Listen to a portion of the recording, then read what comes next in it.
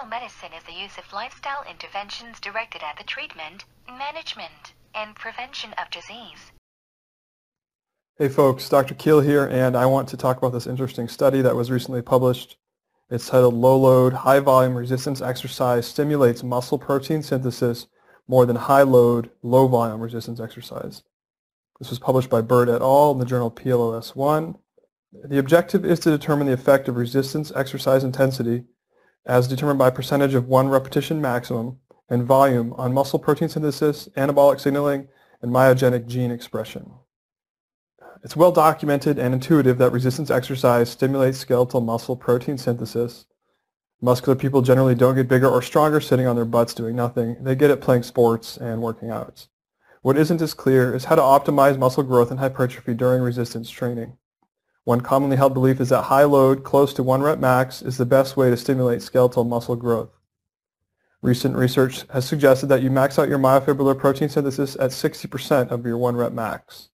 Blood flow restriction training, which has been in use by the military for several years and is gaining traction in pro sports circles, is another indicator that max weightlifting may not optimize muscle growth.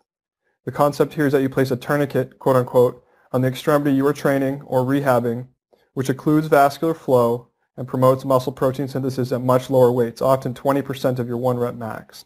The Army has been using this with its veterans with great results over the last few years.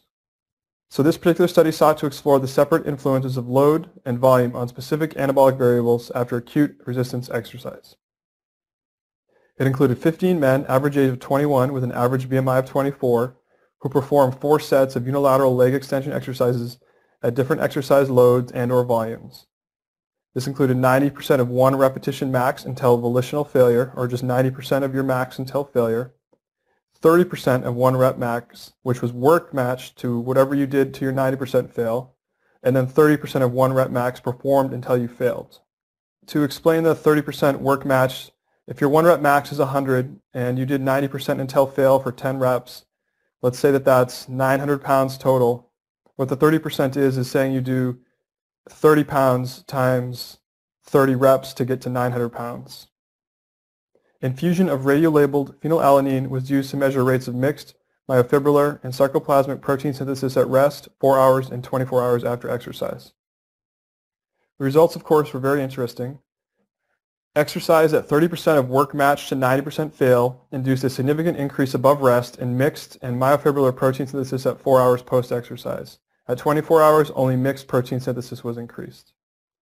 The increase in the rate of mixed and myofibrillar protein synthesis at 4 hours post-exercise with 90% to fail and 30% to fail was greater than 30% work matched, with no difference between the two fail groups.